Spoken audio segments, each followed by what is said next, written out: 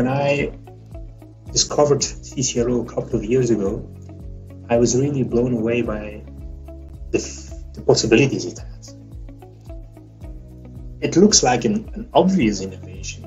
I still remember in the first months, why didn't I invent this myself? And because it's on first sight, it really looks like a traditional reverse osmosis, but when you understand how it works, really unveils unlimited possibilities.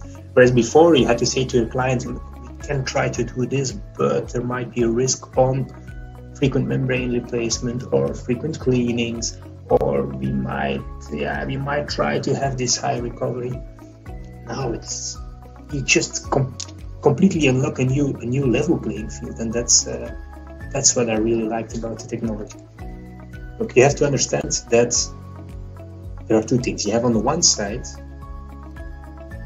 a pioneer in membrane technology where scientists, technicians, engineers have been working for years, even decades, to optimize a membrane, to make membranes less susceptible to fouling and scaling, to make them more energy efficient, to have a whole range of different membranes, to make them more water efficient.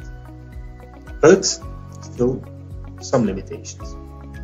Then on the other side, you have a new technology, a new process, a new way of operating those membranes that overcomes a lot of those limitations that there were before. But this combination is really combining the best of both worlds. And that is a great addition to the portfolio.